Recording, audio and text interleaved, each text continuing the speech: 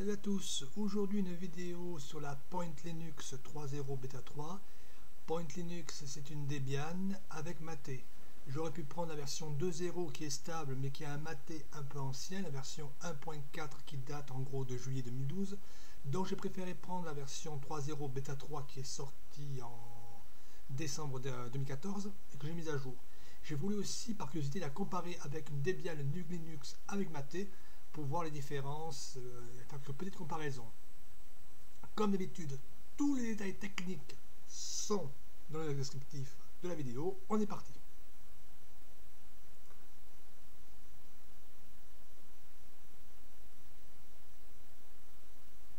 Du moins, ça veut bien démarrer. Voilà. Donc les deux sont basés sur Debian GNU Linux GC. En clair, la version qui utilise systemd, version qui n'est pas encore stable. Donc, tout commentaire dans la vidéo qui parlera de système D en bien ou en mal, j'en ai rien à faire, il sera sucré. C'est compris? Donc là, on a le démarrage. Euh, bon, ben, apparemment, il doit y avoir un écran de animé, mais je ne vais pas le faire activer sur Box. Donc, ces trois petits points qui avancent, qui ne servent pas à grand chose si ce n'est à cacher le. à ralentir le démarrage d'ailleurs aussi. Donc, on le saute et on arrive directement sous l'écran de connexion de la Point Linux Mate avec euh, Mate Desktop 1.8.1. On se connecte.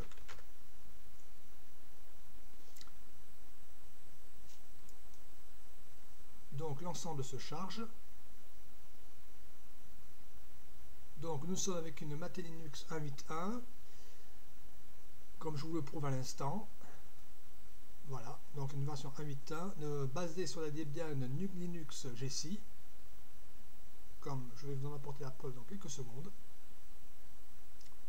Donc on note qu'elle mange un peu plus de 210 MB au démarrage, ce qui n'est pas excessif. C'est la moyenne des euh, Donc vous voyez, c'est basé sur la Debian GC, Mate 1.8.1 avec le noyau 3.16.7, je crois me souvenir. Hmm, je vais vérifier ça un instant parce que j'ai un petit doute. Donc en gros, c'est la même chose que la Debian euh, Linux GC actuelle. Donc je vérifie. Oui, c'est la Debian 3, enfin, euh, le noyau 3.16.7. Côté équipement logiciel, avec on a le jeu d'icône FindSA. Ça faisait longtemps que j'avais plus vu.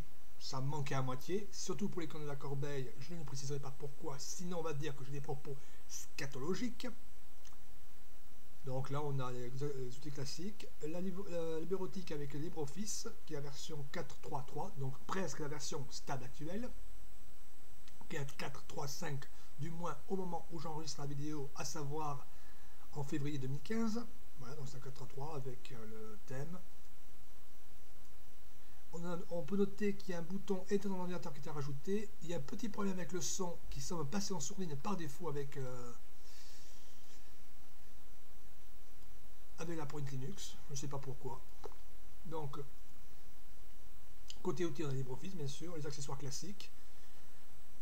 Bon, il n'y a pas super grand chose. Il y a transmission, il y a Firefox et Thunderbird. C'est peut-être pour aider les utilisateurs qui n'ont pas trop l'habitude de voir les versions qui s'appellent IceWizard, IceDob et compagnie. Donc on a Cara, bien sûr, les outils classiques. Pour la vidéo, on a VLC. Donc c'est vrai que c'est pas une distribution qui est super chargée au démarrage logiciel. Donc le répertoire classique, tout est en français bien sûr, avec l'ensemble. Donc là, je vais montrer, là, je vais lancer Mozilla Firefox.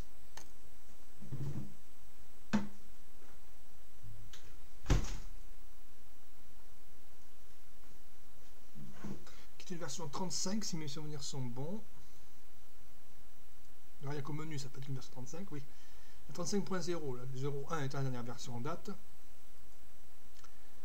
Donc là, on a un lien directement pour donner pour la pointe Linux. Comme ça, au moins, vous, savez à quoi ressemble le, le site officiel de la pointe Linux. Voilà. L'ensemble du blabla habituel.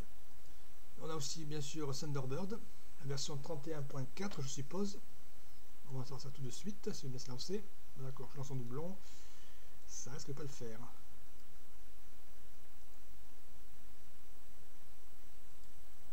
à 31.2. Donc quand même, la dernière version c'est à 31.4, c'est un peu dommage. Donc côté Logitech c'est pas mal, mis à part ces deux petits points noirs. Euh, on va voir dans Synaptic. Donc là, je lance l'ensemble. Il y a quand même pas mal de dépôts activés par défaut. Je vais vous les montrer. Voilà, j'ai désactivé certains. Comme pour VirtualBox, ça pointait vers la version Wheezy, donc c'est pas super. Là aussi, il faut désactiver parce que Dropbox, la version Wheezy, c'est pas la joie non plus. Donc si on veut installer Chrome, on peut. Si on veut installer Opera aussi, bien sûr. Et là, il y a tous les euh, dépôts. Sur le dépôt de la pointe Linux, on trouve Firefox et Thunderbird, entre autres. Là, je vous le prouve à l'instant. Si on cherche Firefox, quand on se détail, on peut voir que c'est Point Linux Agni 1, donc c'est directement envoyé depuis euh, un dépôt spécifique euh, à la Point Linux. Donc il n'y a pas grand chose à rajouter, c'est de la Debian, c'est stable même si c'est la version de Jessie. Ça utilise systemd, donc pour les personnes qui sont allergiques ou euh, qui n'aiment pas trop, c'est un facilitateur de c'est laxatif. Il y a Adobe Flash Player qui est installé par défaut. Donc c'est une distro quand même qui, à mon avis, à destination des débutants pour avoir un bon environnement euh, maté avec, euh, avec Debian. Mais cependant, j'ai voulu comparer avec la Debian officielle. Comme ça se base sur Debian, je l'ai installé. Donc j'éteins la version de la Point Linux. Et là, je vais lancer la Debian Linux maté. Donc c'est la même base technique, donc il n'y a pas grand chose de différent. Vous remarquez déjà qu'il n'y a pas d'écran de démarrage. C'est directement comme ça, c'est aussi bien parce que c'est pas ultra super long à démarrer. même pas 8 secondes à démarrer dans une machine virtuelle. Ah bon, enfin, vous avez une quinzaine de secondes pour que le système démarre. Voilà, donc là, on arrive sur l'écran de connexion. D'ailleurs, j'aime bien l'artwork de la Debian 8. J'avoue que c'est un joli artwork, enfin, ensemble d'illustrations. Donc on arrive, pardon, sur la Debian 8, en cours de développement. Donc remarquez, euh, contrairement à la Point Linux, le son fonctionne. Donc là, bon, mais je vais pas rajouter, donc là je suis vraiment resté avec l'environnement de base, les icônes de base. Donc euh, on a bien sûr l'environnement maté 1.8.1 avec l'ensemble comme pour l'autre qui est d'ailleurs légèrement moins gourmand 40 mégas de moins enfin 35 mégas de moins. On descend à 176 mégas. Je ne sais pas ce qui ira manger ton mémoire vive sur l'autre, mais quand même on a 40 mégas de différence. Hein. Mais toujours le même noyau, matin 8 bref. peut-être sous le thème, peut-être autre chose, je ne sais pas, bref. Côté Logitech, on trouve les mêmes trucs. Bon, par contre, là, il y a un petit problème d'icône qu'il faut se rafraîchisse. Bon, d'accord, j'ai compris. Les icônes sont un peu feignantes par moment, mais ça c'est un bug connu de Maté, qui se disponible qu'on trouve sur toutes les versions de Maté. Quel que soit l'OS. Bon. La bureautique, on a toujours notre ami LibreOffice Writer. Par contre, il y a un petit paquet que j'oublie de rajouter, que je vais rajouter par la suite. Parce que c'est un peu moche. Faut dire ça comme ça, c'est moche. Hein. Donc je vais essayer de voir s'il n'y a pas un paquet qu'on peut rajouter pour en lancer un peu plus joli. On a GIMP qui n'était pas présent sur l'autre. Donc là j'ai rajouté Iceweasel et IceDove en clair Firefox Thunderbird, transmission, bras 0 et VLC comme pour l'autre. Donc vous voyez, il n'y a pas grand chose de différence, mis à part quand même qu'elle mange 35 mégas de moins. Donc là, on va aller dans Synaptic. Je n'ai pas mis Flash Player non plus. Donc je lance Synaptic. Bien sûr, il n'y a pas certains outils comme euh, GDB ou l'outil pour vérifier régulièrement les mises à jour. Donc c'est peut-être ça aussi qui mange euh, les 30 et quelques mégas de différence. Donc on va rechercher LibreOffice. Je pense que ça doit être l'apparence gnomique, de donner une meilleure apparence à l'ensemble. Alors, voyons. Bon. Je vois c'est pas truc. Ah, on va essayer ça. Ou GTK3 peut-être. On va mettre intégration GTK+. On va voir si c'est ça. Ce sera difficilement moins moche. Donc vous voyez, bon, déjà l'ensemble est quand même légèrement plus rapide. Bon, il n'y a pas certains outils comme le vérificateur de mise à jour automatique et compagnie. Ça, il faudra rajouter. Mais déjà, 30 mégas de moins, ça fait la différence. Donc on va voir ça. Donc je vais relancer le Professor Writer, voir si ça met un peu plus... Ah, voilà, c'est ça qui manquait. C'est déjà plus joli. Euh, attends, je vais voir ce que ça s'appelle. Je sais plus comment ça s'appelle. Ah oui, c'est Package Kit sûrement. Attention, Package Kit qui doit permettre de d'avoir les outils. Non, c'est pour KDE. GNOME Package Kit, je pense. Euh, c'est un outil Package Kit, mais je ne sais pas lequel. Là, je ne peux pas vous dire. C'est peut-être ça aussi qui doit manger un peu de mémoire. Donc je vais installer ça. Euh, oui, donc là, je vais voir si c'est lui qui sait, voir si c'est ça. Ne va pas manger grand chose de plus. Hein. C'est lui qui doit justement gérer tout ce qui est euh, outils de, vérification de mise à jour et compagnie. On va savoir très très vite. En tout cas, comme pour la version euh, Point Linux, l'ensemble est très rapide. Bon, il y a quelques petits trucs à rajouter par rapport à Point Linux qu'ils ajoutent par défaut. Alors, on va aller dans l'outil de menu. Ah, où maintenant? Euh, Je le trouve plus maintenant. Administration, c'est pas ça. Il est passé où? Menu principal. Je le trouve plus maintenant. Je ne le retrouve plus. Bien sûr, bien sûr, bien sûr. Alors, outil système peut-être. Non. Ah, il où le seul bête donc, vous voyez, c'est un peu les aléas du direct. je vais voir, euh, c'est Mozo, c'est son nom s'appelle. Voilà. C'est l'équivalent de à la carte pour mater, qui permet de gérer les menus. Donc, il y a 3 4 paquets, j'ai oublié d'installer. Mais vous voyez, c'est quand même assez rapide à faire.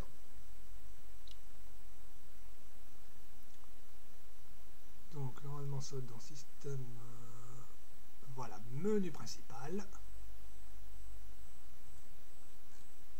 Administration, c'est pas outil système. Ah, cette bête est passée où? J'avoue, je cherche un peu parce que je n'ai pas trop l'habitude d'utiliser cet outil.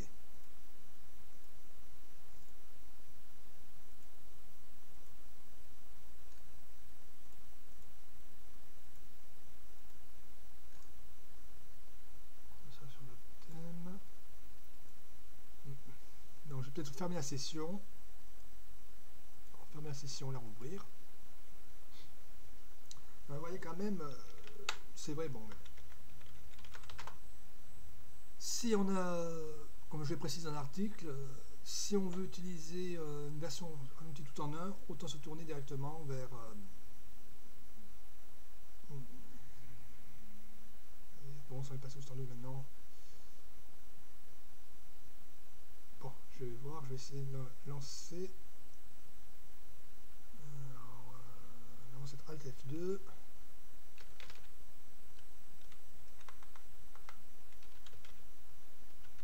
Non, pas package kit. Euh, je vois pas application, les applications connues, peut-être. Et je ne le trouve pas. Bon, c'est pas grave. Donc, juste pour... Euh, ah, je vais peut-être trouver dans un synaptique, peut-être. Donc, c'est vrai, il y a quelques outils en plus qui sont fournis par défaut avec la distribution, avec la Point Linux, qui ne sont pas la Debian. Donc là, alors, on a un package kit, non, c'est pas ça. Les paquets installés, package kit, package kit 12,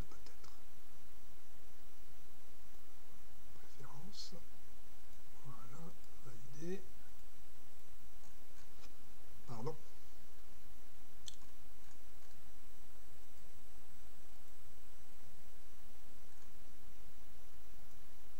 Package kit, non.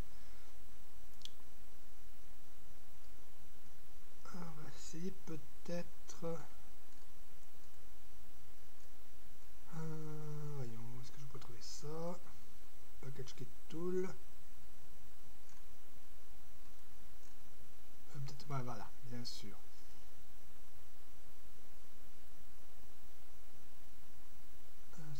Package Kit finalement. Donc je vais installer GNOME Package Kit. C'est peut-être lui qui permet d'avoir les fichiers trucs comme euh, vérifier la présence de mise à jour et compagnie. Bon, bien sûr, c'est aussi bon. C'est vrai que la Debian est quand même connue pour être un peu plus roots que la Point Linux et autres distributions simplificatrices.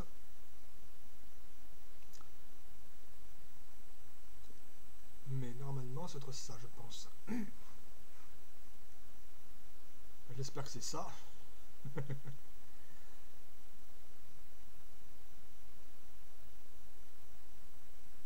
J'espère que ça ne va pas me rajouter trop de... Ah, il m'installe Nautilus, j'en veux pas Nautilus. Non, c'est pas de lui. Bon, je vais enlever, c'est pas bien grave.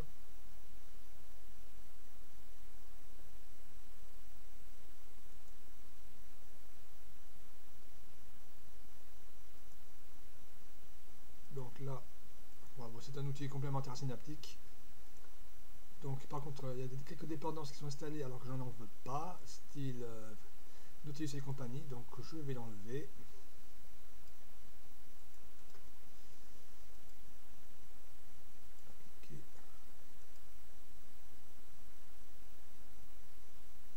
C'était un peu dommage. Bon, mais c'est une fausse manipulation. Donc c'est vrai que si vous voulez avoir des outils euh, pour vous simplifier la tâche, euh, du genre euh, outils de vérification de mise à jour et compagnie, mieux vaudra vous tourner vers une Point Linux. Mais sinon, si ça vous dérange pas de faire des mises à jour à la main, de vérifier de temps en temps via Synaptic qu'il n'y a pas de mise à jour à faire, une Debian vous conviendra parfaitement. Normalement, il a moins d'outils qui devraient y être. Hum, charolles alors voyons, je vais passer par gestionnaire de paquet. Donc je vais enlever Nautilus.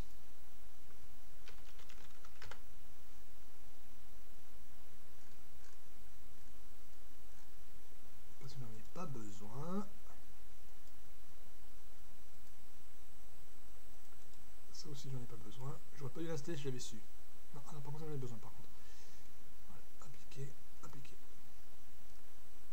Donc pendant ce temps, je vais vous montrer bon, le hic, petit hic avec la Debian, c'est qu'on a des versions parfois un peu conservatrices de certains logiciels, comme pour Iceweasel, qui se retrouve en version 31.4, contrairement à la version 35 euh, de Firefox qu'on peut trouver avec notre ami la pointe Linux. Bon, j'espère moi qu'il va se lancer. sinon ça m'ennuierait un brin. Allez, mais lance-toi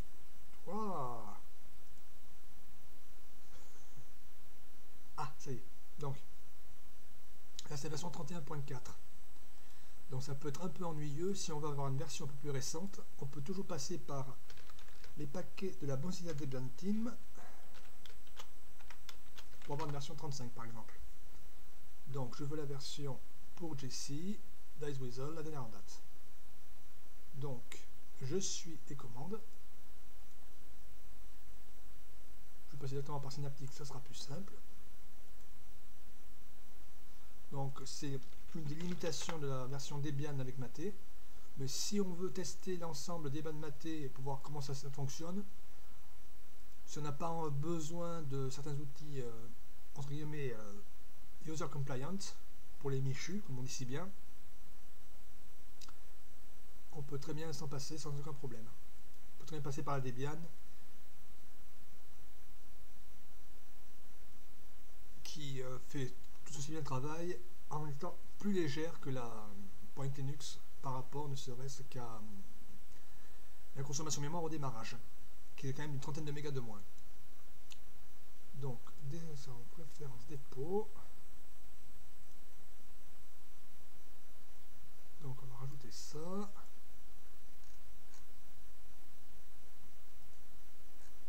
Alors, nouveau dépôt.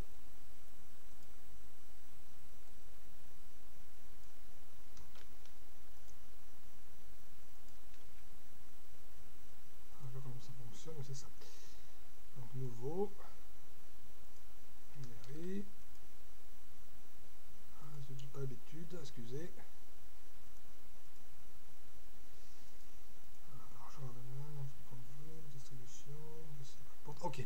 je recommence parce que j'ai pas trop l'habitude de passer par là. Alors, URI, c'est ça. Distribution unstable. Je suis ce qui est marqué. Hein. Et main. Je voudrais plutôt testing, mais on va suivre les conseils. Valider.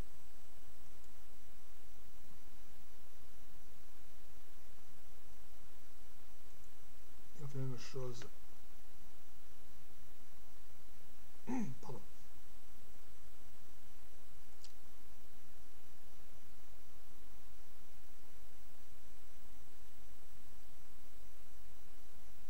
Oui, c'est les aléas du direct. J'aurais dû quand même prévoir tout.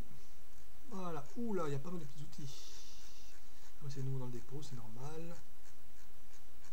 Donc là, je vais chercher Firefox, enfin Iceweasel pour voir ce qu'il va me répondre. C'est la version 35 qui est disponible. 31.4, blablabla. On va descendre. Non, il n'y a que 31.4, donc on va continuer à rajouter les dépôts. Ah, c'est pas ça que je voulais faire. Dépôt. Nouveau. Donc on recommence avec ça.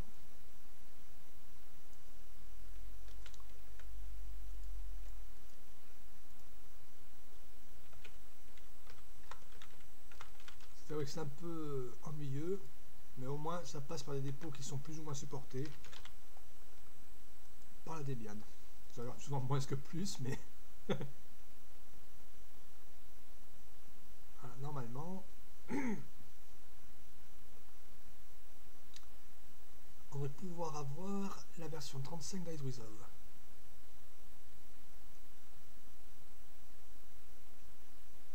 J'aurais dû faire quand même la manipulation avant.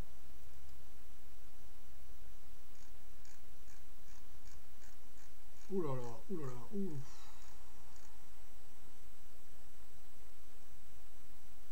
J'ai pourtant fait une mise à jour tout à l'heure. Donc, je vais ignorer ces mises à jour pour le moment. Je vais juste installer, parce qu'on ne sait pas ce qui pourrait se passer. Je préfère autant rester prudent. Donc, je vais juste installer en suivant la commande. Voilà.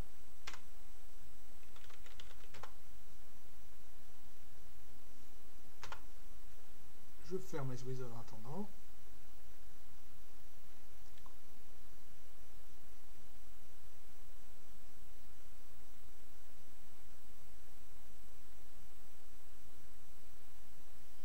mises à jour, je pense que ça doit être lié à l'utilisation de, un truc, j'ai pas envie de faire la mise à jour pour le moment, parce que je crains le pire. Et normalement, il doit pouvoir installer Iceweasel, la dernière version. Et quand je vais la lancer, la version 35 va m'accueillir.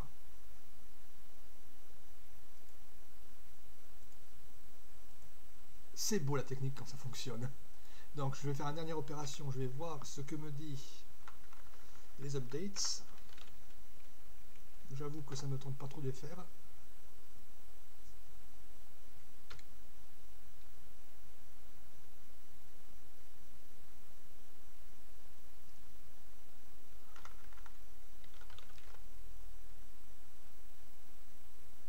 Je vais voir ce qu'il me dit, mais là... Oula, je préfère t'en arrêter. Non, j'en veux pas, c'est mise à jour de instable, donc je préfère pas y toucher. Voilà, donc euh, c'était... Euh, je vous ai montré que, donc, mis à part l'outil, je ne me rappelle pas comment il s'appelle pour euh, gérer les mises à jour. Donc, comme je vous disais un, peu auparavant, si vous avez besoin de tester la Debian plus Maté, vous pouvez voir avec Point Linux. Si vous avez besoin des outils un peu avancé comme euh, recherche automatique de mise à jour euh, et compagnie, mieux vaut c'est la Point Linux. Si vous n'avez pas envie de... Euh, si Debian vous suffit largement et que vous avez l'habitude de la gérer en ligne de commande, vous pouvez passer par là. Donc là, on va voir combien il mange de ressources maintenant. 260 mégas, oui, donc il a pris quand même pas mal de. Je vais. voilà. Bon, il a pris quand même pas mal un peu de, bons points. Mais quand même au démarrage, il ne prend que 170 mégas, 180 mégas, donc on voit quand même qu'il y a pas mal de trucs. C'est quand même le Debian est plus légère que la Point Linux. Peut-être à cause des outils de mise à jour automatique et compagnie. Bon, ben je vous laisse. J'espère que cette vidéo vous aura intéressé et vous montrera quand même qu'on peut avoir le choix. Et si on n'est pas trop exigeant et qu'on a envie d'avoir, qu'on se sent l'envie de gérer, de se responsabiliser en faisant une mise à jour à la main, on peut le faire. Bon, ben je vous laisse. Ciao